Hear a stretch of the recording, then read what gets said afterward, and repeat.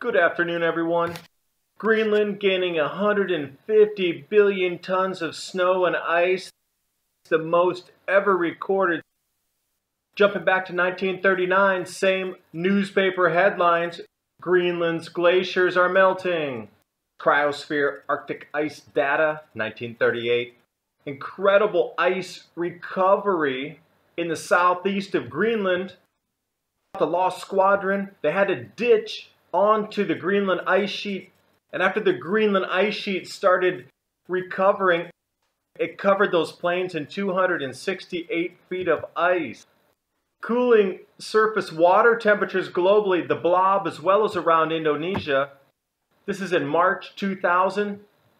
Notice the heating in America. Oh, look how cool it got by August 2015.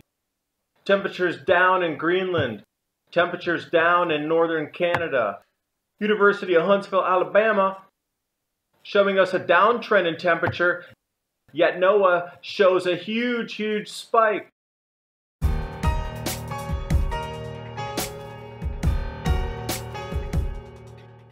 Since satellite measurements have been recorded, which the IPCC relies on to get you to believe in global warming, this has showed the most ice and snow ever since that time in 1990 to today. A new record has been set for ice gain on Greenland.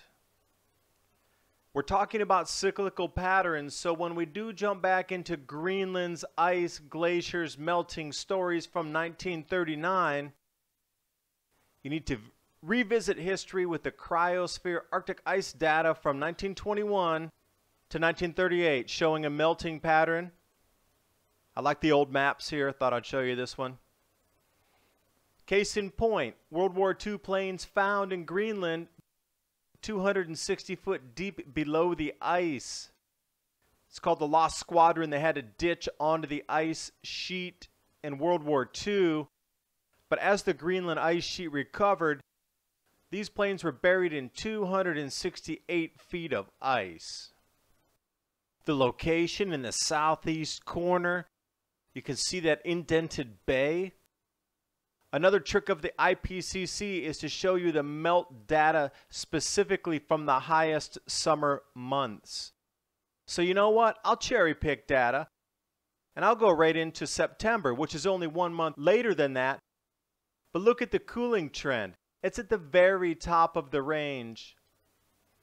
And if the Greenland glaciers were truly shrinking and are going to raise the ocean levels, research stations like this should not be nearly covered and buried in snow and ice. I highly encourage you to come over to DMI and check out their site. They have a really great rundown on the different areas of Greenland and the ice concentrations. When we look at the scary chart of the 2005 ice melt extent, and then we compare that with 2015, there's a dramatic shift in melting versus building. We're in the building accumulating ice and snow right now. The mean average from 1990 to 2013, 2015 is blowing far above that, almost above the 2% deviation on that. A different look at the fraction of the ice sheet surface melting 2012, obvious. That was one of the warmest years, but it's getting cooler. Look how quickly it just cooled off. Surprisingly, they don't have any updated data for the entire year of 2015 yet. More published peer-reviewed data shows the exact same increasing ice, but this was 2005, so I'm really curious why we were never shown this indication of increase in elevation rate due to ice adding. Sidebar for you here, this is a real nice GISP ice core. So when we talk about ice cores from Greenland, this is what they're looking at through the magnifying glass. These layers of snow and ice compressed, showing you the difference between summer and winter. Greenland temperatures downtrend since 2003. Nunavut, Canada, Baffin Island down. Is it just me, or is that a lot of cooling since 2013? Jumping over to the global sea surface temperatures, I circled in blue the areas that have cooled the most.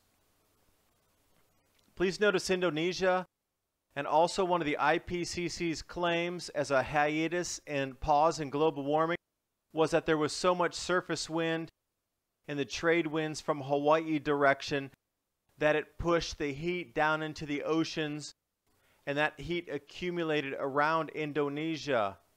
False claim. Sea ice extent 2015.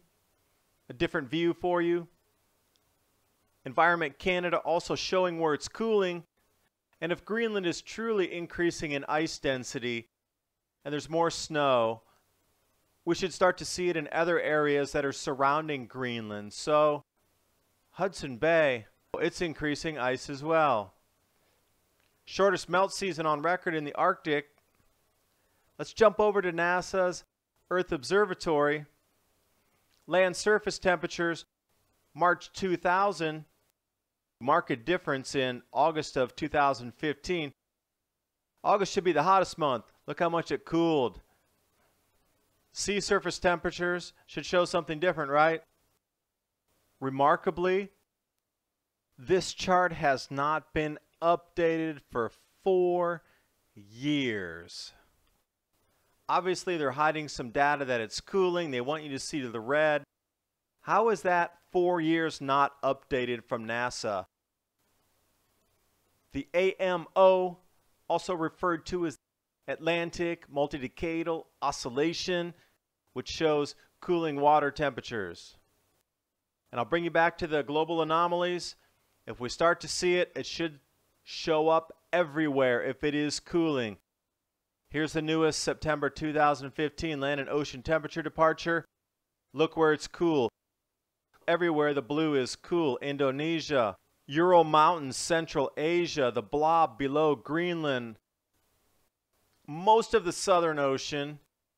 Australia was pummeled this year along with New Zealand with record cold temperatures and snow, and they're right in the bands of blues. So was Argentina, Chile. UAH seems to be the most reliable data going forward with satellite measurements. They do show a downtrend in temperature, yet somehow NOAA shows a one degree increase. How is that possible? How are we being lied to so much where NOAA can come out and have completely different data that shows warming, warming, warming? And Ohio State University, to try to explain Antarctic melting as gains, the rocks push up because of decreased pressure, which actually raises the ice sheet, which gives a false measurement reading from the satellites taking altitudinal data showing an increase in ice, but it's actually decreasing because the Earth rise. It didn't actually decrease ice, but the Earth below it pushed up more to raise the ice, is their explanation.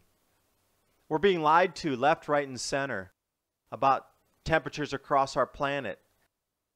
And with the information provided about Greenland ice recovering, and the cooling temperatures on both land and sea across our planet in the northern and southern hemispheres. I will not pay a carbon tax. I absolutely say no. It's a cycle brought about by our sun. Solar minimum is upon us. Thanks for watching the video. I hope you see what I see after this information was given to you. Please subscribe to my channel, Adapt 2030. Pass this out through your social media, and I will keep stories like these coming to you.